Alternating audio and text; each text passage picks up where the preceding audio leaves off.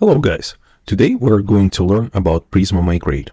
By the end of this video, you will be able to create, customize, and run your migrations using Prisma Migrate. I'm in Remix project with Prisma installed. If you would like to know how to install Prisma in your Remix or Next.js project, please watch the video Add Prisma to Next.js App Router project. Prisma uses model entity first migration pattern, meaning that it creates migrations from its schema. So Let's first go ahead and define the schema for our project. We're going to open Prisma folder and schema.prisma. We will start with the obligatory users and posts. Let's go ahead and create model user and we're going to put the field ID. It will be integer and we'll put at ID and at default auto increment. At ID means that it's a primary key and default value will be auto increment. The next uh, field will be email. It will be string and it will be unique. Then we'll have name, which will be string as well, posts. And then we'll also add created at, which will be date time and we'll have a default now value. And then updated at, date time as well. And we're going to use Prisma's at updated at. So Prisma will uh, insert the updated at date when it updates the record. Right here, I'm going to put at at map users with a lowercase that's how I would like to name my table because otherwise my table will be named uh, users with a capital U, but I like to name my tables all lowercase with underscores. So the next model will be post, and again, ID integer, it will be primary key. So we put at ID and default will be auto increment. User ID field is will be integer. And then we're gonna have a title, which is string, and then content, which will be also string, and then a published will be boolean field, and then we're going to define relationship to a user, and user ID will be our foreign key, and it will reference ID on user's table. So the next, again, we're going to put created at and updated at, and then we're going to name our table as posts with a lowercase. The models user and post are ready, so let's go ahead and create those tables in a database. Let me show you my .env file. I'm connected to my database. It's called remix underscore prisma. And let's go ahead and open the terminal. In order to run migration, we're going to run npx prisma migrate dev. Now it asks us what would be the name for the migration. We can call it create user, create users and posts table. And as you can see, migration got created and applied. So let's go ahead and take a look at the Prisma folder again. And now we have a migrations folder. In this folder, we have another folder called uh, create users and posts table right here with a timestamp. And then we also have migrations lock.toml file, uh, which you don't want to mess around with. So it's going to keep track of the migrations. Now let's go and jump into the create users and posts table and we have a migration.sql file and it's just simple SQL file. So you have create table users here, SQL and create table posts. Let's go ahead and switch to table plus to see if those tables are got created. And indeed we have uh, three tables. One of them is users and then posts. And we also have a Prisma migrations table, the same kind of in SQLite, there is a table where Prisma keeps track of the migrations. So let's go back to VS Code and let's say we need to add a new column, right? We want to add it after content and we're going to call it uh, summary, right? It also going to be type of string and we want to have it as a small text, right? As you may have noticed, title, content, now summary, they're all string, but in terms of MySQL, there are different uh, string types, right? Variable characters, text, tiny text. So in Prisma, you can have at DB, where you can actually specify, um, particular for MySQL, which kind of uh, type of string would you like, right? So in our case, I would like to have my summary as a tiny text. Let's go ahead and save the changes, and you can see my file got nicely formatted. This is because I have Prisma extension installed in my VS Code. So go ahead and install Prisma extension if you're working in Prisma in the VS Code. So your schema.prisma file looks nice and it gets formatted. Now let's go switch to the terminal and run again npx prisma migrate dev. And again, it's gonna ask us for the migration name. We can call it add summary column.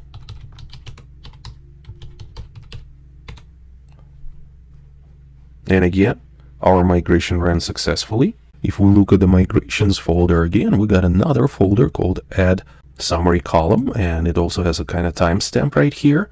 And if we go into migration SQL, we're going to see that we have an alter table statement and it adds a column summary, which is tiny text and it's not null.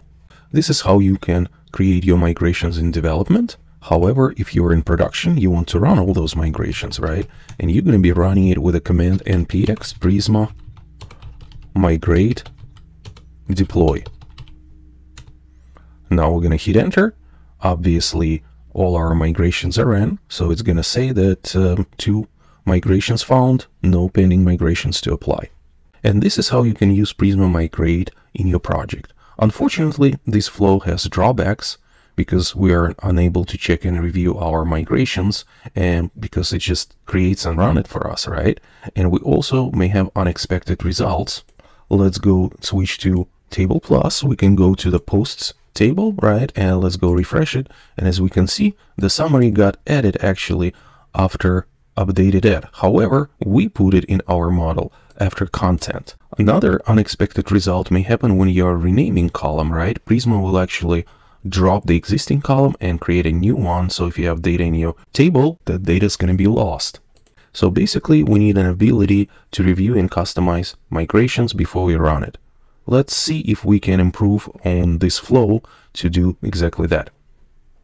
Let's go ahead and reset. Unlike Sequelize, Prisma Migrate doesn't have an easy way to roll back, so we will have to delete all our tables right here in the database. Now let's go back to VS Code we're going to delete this summary column and we also going to delete migrations folder. Let's go to package.json file and we're going to add a couple of scripts here. First, we are going to add migration create script. We're going to be running Prisma migrate dev with a flag create only. This will only create the migration for us and not run it. The next script will be migrate and now we're going to run Prisma migrate dev and then we're gonna have migrate colon prod. This will use Prisma migrate deploy. This we can run in production. And we also add a seed script and we're gonna run Prisma slash seed.js file that we're gonna be using to seed data to our tables. Let's go ahead and quickly look at this file. So this file just basically inserts two users, Alice and Bob, and then those users have posts. Bob has two posts and Alice has one post. So let's go ahead and open the terminal and we can run npm run migration create. It's going to ask the name for our migration and we're going to call it again create users and posts tables he just created migration for us. So we have migrations folder in our Prisma folder again, and we have folder create users and posts table. So we can open it again. It's just the same as we had it before. We reviewed it and everything looks good and we can run npm run migrate. And as you can see, migration got applied. So before we make any changes to our schema, Let's go ahead and seed the database. Run the script npm run seed, and this script seeded the database. Let's switch to table plus and check it. And in table plus, if we refresh, we're gonna see users, posts, and again Prisma migration tables. And if you click on the users, we can see two users here, and the posts, we have three posts. Let's switch back to VS Code and make changes to our schema, or like they say in fancy terms, let's evolve our database. Let's go ahead and add summary column. It will be again string, and in Prisma, if you want to have your column nullable, allow nulls, you can just put a question mark right here, and again, we'll put at db uh, tiny text. Let's go ahead, save, open the terminal. We're gonna run npm run migration create. And it will ask us for the new migration name. We're gonna call it add summary column. And now our migration got created. So let's go to migrations folder, add summary column, and we can see that we have right here alter table. So it says posts, add column summary, tiny text, null. This, however, will add column summary at the end of our columns, but we want to have it after content. Prisma Migrate Create Only gives you an advantage not only review your database migration, but also customize it. So let's go ahead and do just that. We're going to put after, and we're going to put the column name. We wanted content. All right, let's go ahead and save it. Now we're going to go ahead, run npm run migrate. And summary column got added to posts table. Let's switch to table plus. We're going to refresh and we're going to see that the summary got added right after content the way we want it. Let's go back to VS Code. And as you can see, if we look at a summary column, right, we made a typo here. We put 1M instead of 2. The typos can happen, you know. Sometimes you put not nullable field, which you need to have a nullable, so you need to be able to fix it. And unfortunately, there's no easy to kind of roll back your migration in Prisma like you can do in Sequelize. I could have just simply rolled back the migration, fixed um, summary, and migrated it again. Here in Prisma, we will have to create a new migration to fix it. Let's go ahead and add a double M in here. So we're going to save it, open the terminal again. We're going to run npm run migration create. And it's going to ask us for migration name. We're going to call it updated summary column name. This created yet another migration, so let's go ahead and look at the updated summary column folder, and we have a migration. However, as you can see, it's dropping column summary and adding column summary with a double M. This may not be what you want, especially if you have data in your database, even in development, losing like a few uh, records, you know, you'll have to create it again or reseed it again. So you really don't want to do that. Besides, the new column summary will not be added after content. So let's go and fix it because uh, MySQL has a rename command, right? That's uh, what we want actually. So let's go ahead and put the following I'm gonna delete this. Instead of add column, we're gonna put two. And instead of drop, we're gonna put rename column summary, right? Let's also go ahead and delete that comma and put everything on one line. Let's go ahead and save. Now we open the terminal and run npm run migrate. And the migration ran successfully. Let's switch to table plus. We're gonna check and we can see that the name got renamed to summary with a double M. Let's go back to VS Code and make a couple more updates to our schema so you can have a feel how it works, right? So as I mentioned before, the string of uh, Prisma will just create you a variable character column, which uh, may not be long enough. So let's go ahead and update content to uh, text type. So we're going to put at DB and we're going to use text right here.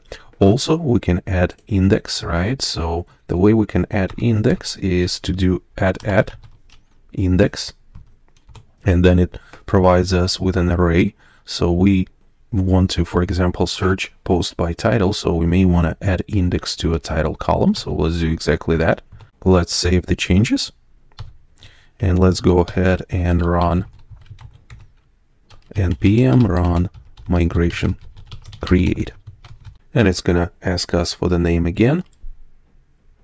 We just simply call it updated posts table. We hit enter. Again, we're gonna go ahead and open the folder. We can look at the migration right here. Seems like um, you know, just altering posts and content's gonna be text and it's just creating index. So no unexpected results here. So let's go ahead and run this migration then.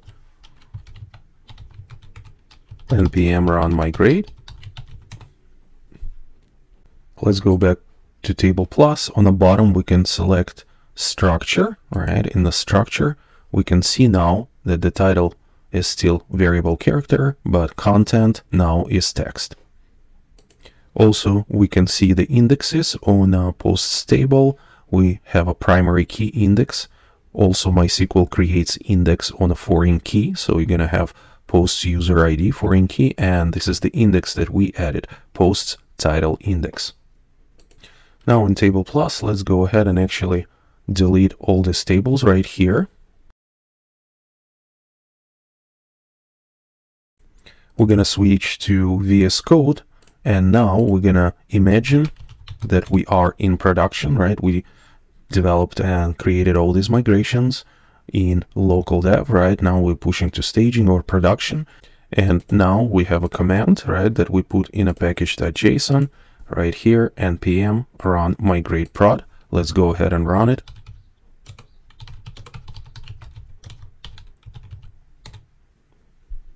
And now this command will just check uh, migrations folder against uh, the migrations table in the database and check which ones are run or which ones are not read, and it's just going to run it.